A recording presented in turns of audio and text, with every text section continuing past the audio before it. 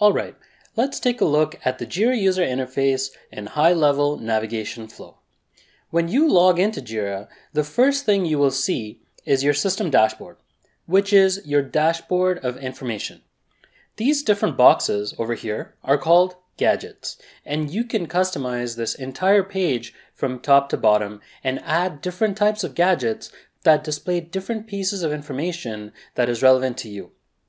For example, this gadget over here is called assigned to me, which basically displays the issues that are currently assigned to me, or the user that is currently logged in.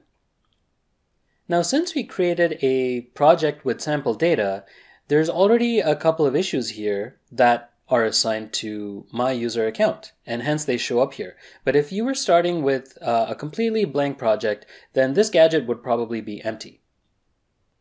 Below this, you have an activity stream, which is like a newsfeed for your Jira site and kind of tells you what has been going on on the site. You know, changes that different users are making. Um, you know, if there are any comments that are being made by uh, various users, it's kind of like a newsfeed. So this is the system dashboard, which was created for you by default. But you can also create your own custom dashboards and share them with other team members. And you can see that this dashboard appears in this white space, which is basically your main content area. And on the left here is your navigation bar. This navigation bar determines what gets displayed in your main content area. Now, Jira's previous UI version had this navigation bar at the top, and some of you might have seen that from before. And in 2017, they decided to revamp their interface and converted it into a sidebar navigation format. And you can minimize this sidebar by clicking on this little arrow over here. And basically what that does is it reduces the text into just icons and it maximizes or I guess increases the space in your main content window. And you can again expand that by clicking on the arrow and you can even drag and drop it to a size that you prefer. You can even toggle this sidebar with a shortcut key, uh, which is the open square bracket on your keyboard. So if you just hit the open square bracket, it will toggle that sidebar. Now let's take a closer look at the sidebar.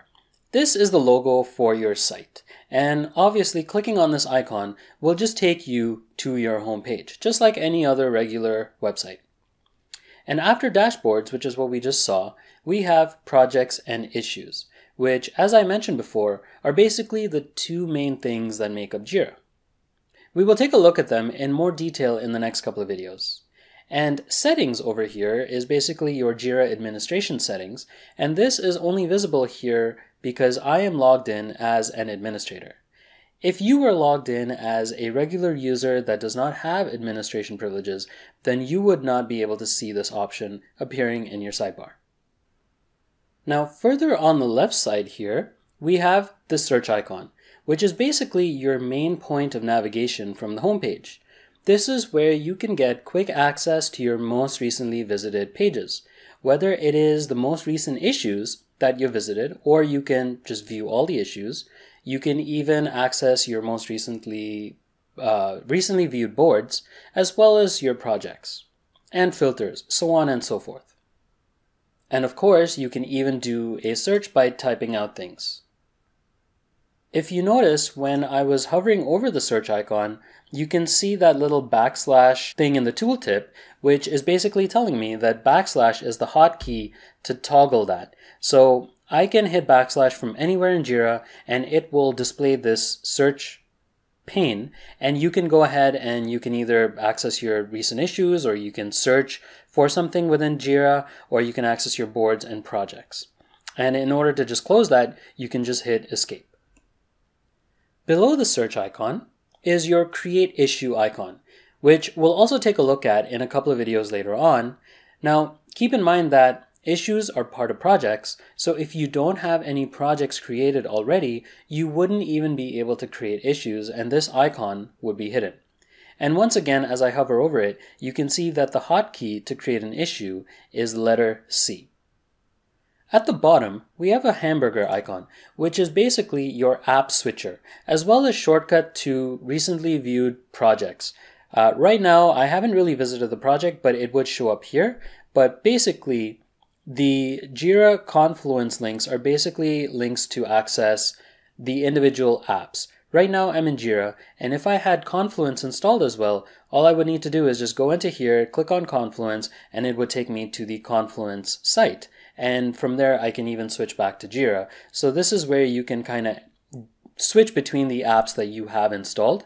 You can also go to your site administration, which we'll take a look at in the administration section of the course.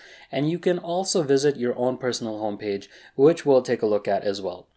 Furthermore, you can edit this whole view. So if you have other links that are relevant to you, you can always edit this and put in those links so that they appear here. And then right below that, we've got our little help icon, which displays a bunch of handy, helpful links, which I definitely recommend checking out, especially Atlassian's documentation page. And lastly, we have the profile. And uh, let's just quickly go in here and see what we can do at a high level. So you can update things like your avatar, uh, you can change your password, uh, it tells you the groups that you are currently a part of, and you can also change some preferences such as your time zone. Now, I won't go through each and every one of these in detail, but if you do have any questions, definitely feel free to let me know.